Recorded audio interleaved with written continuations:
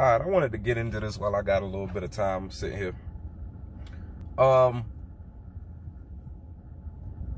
I find it awkward, but this is just something that I had thought about um recently.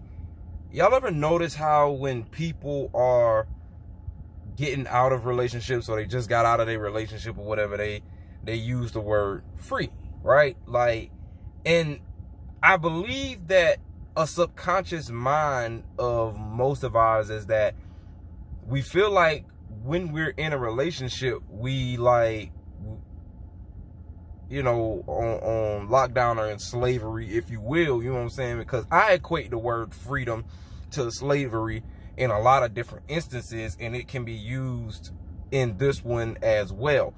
So, if your situation is one that is with a person who you feel like is um trying to control you or or um make you do things that you wouldn't normally do or anything like that. You know what i mean? Like that's not the right relationship to be in. Also if you are a person who does these types of things and makes a person feel like yeah you know uh they got to do what I say, when I say, how I say, or, you know, this ain't gonna work, uh, or I'm gonna have to do this to make them do what I want them to do, or I'm gonna have to do that, so forth and so on.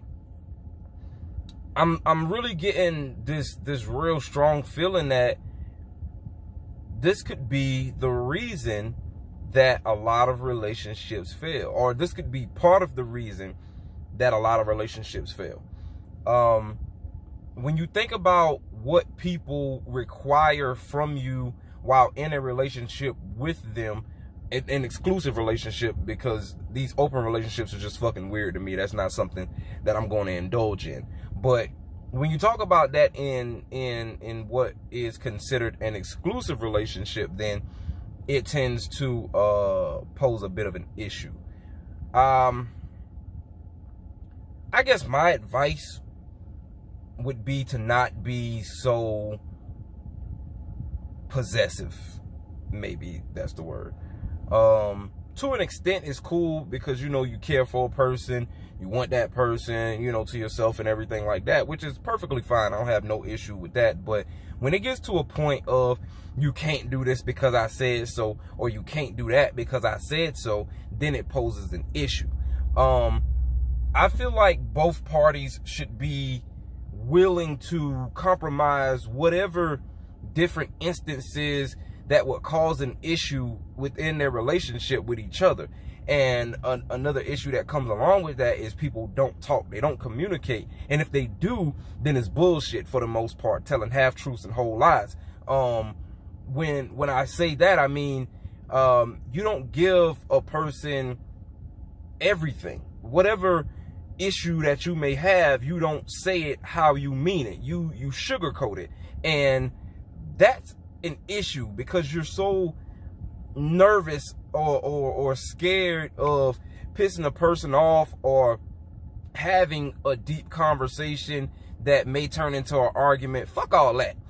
You got to have the hard conversations in order for your relationships to work. If you do not do that, then nine times out of 10, your relationship isn't going to work because the foundation is built on bullshit. And you can't have a relationship with foundation built on bullshit. It doesn't work. It never will. It never has because everybody's lying in this instance and everybody thinks that they're right and everybody wants to be that person that is, you know, the right or in the right in these situations. But y'all really got to think about this shit in relationships, it, it fuck the right and the wrong.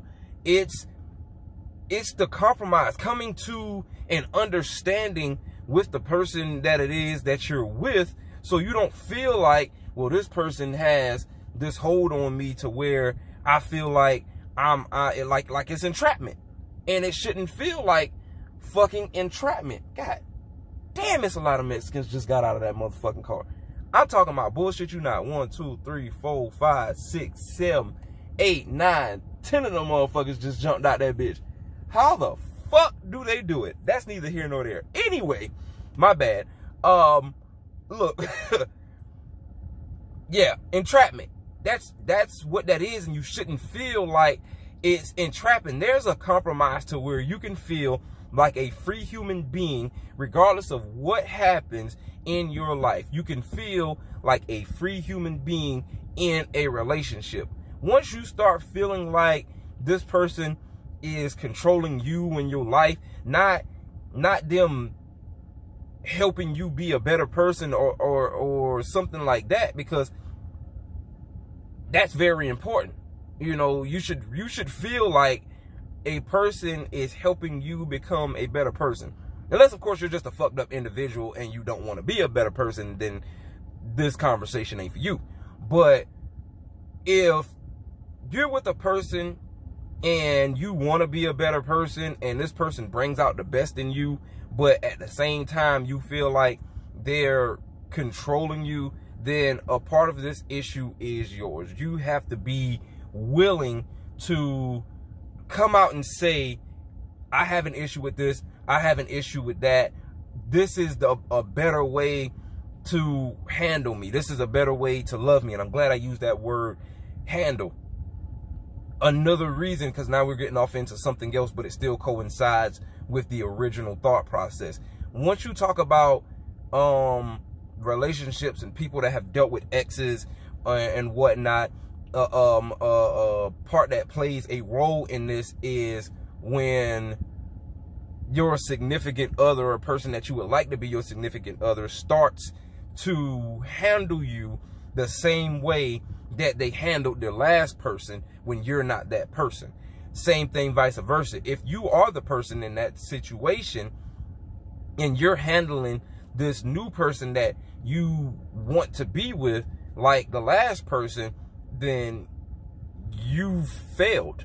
You're not supposed to do that. You can't do that. Every person is their own human being. There may, there may be some similarities here and there, but at the same time, there is not there's no person that is exactly alike. Even twins have differences.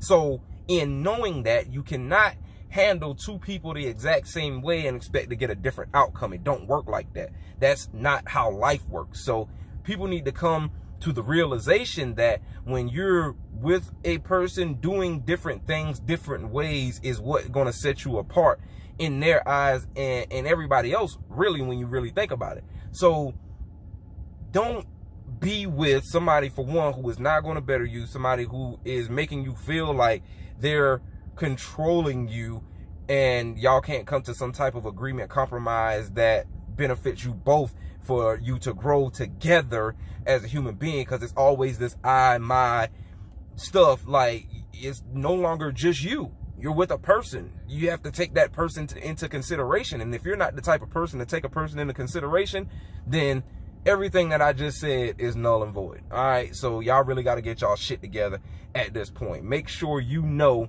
what it is that you're getting into. Be a better person so you can treat people better and you won't have this problem with either treating people like they're slaves and or feeling like you're a fucking slave. Do you feel me? If you don't, that's your problem. Shoot the messenger. Peace. Yeah, hustle. Yeah. Yeah. Yeah. Eddie G. Hustle. Trappers. Number one. That's all we know. Yeah. Number ballers, never grind. Yeah. Yeah. 365 grind, thugging on. Yeah. Yeah.